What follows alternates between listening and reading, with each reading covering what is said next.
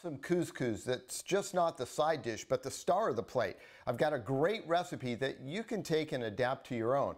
Let's get cooking with style.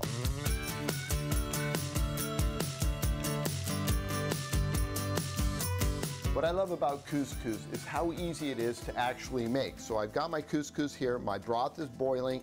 To that broth, I added a tablespoon of butter and a tablespoon of olive oil. Give it a stir, shut it off, put the lid on, and five minutes later, it's done. Been about five minutes, look at that, nice and fluffy. We're gonna put the butter in and we're gonna put the lid back on top. And I'm also gonna put the olive oil over the top of this. And it's just gonna be a couple more minutes. We'll let that melt and we'll fluff it up. It's been a couple minutes and this butter should be just about melted. It's close enough, so let's go ahead and do this. And so when I say fluff, I mean literally fluffing. We're just gonna go like this. And you see, we're not mashing it, we're just lifting it lightly because we don't want, this is actually a, a very delicate thing here. So we're gonna take it out of our pot, we're gonna put it into a mixing bowl and we're gonna finish it off in the mixing bowl because I've got some really great ingredients that are gonna make this couscous really special. So, what I've done is I've gone ahead and minced up some mint, some scallions or green onions, the tops, parsley, and then I've gone ahead and used some cranberries, dried cranberries, and I've chopped them up so they're nice fine little pieces. And then to that, I've got a zest of lemon.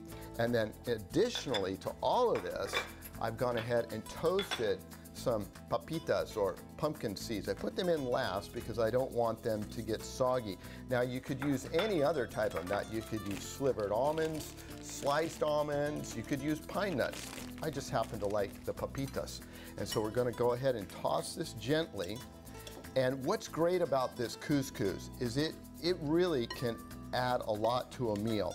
And it becomes almost like the showpiece to maybe something that's not as, you know, you're not serving a, larger protein, you can see how there's so much in this that it really makes for a wonderful, wonderful dish.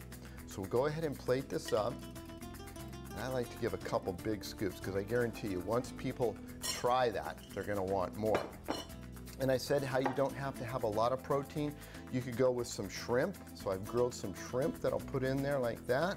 And then how about maybe some of these chicken tenders, we'll put those on the other side. And then to finish it off, I'll just take a little bit of lemon and squeeze that over the top of everything so we have a little bit of lemon. Now remember you've got the lemon zest in there. So that is my version of a couscous. You can change this recipe up to what you'd like, but this is my elevated version of it on Cooking with Style. So if you'd like this recipe, go to cbs8.com slash recipes.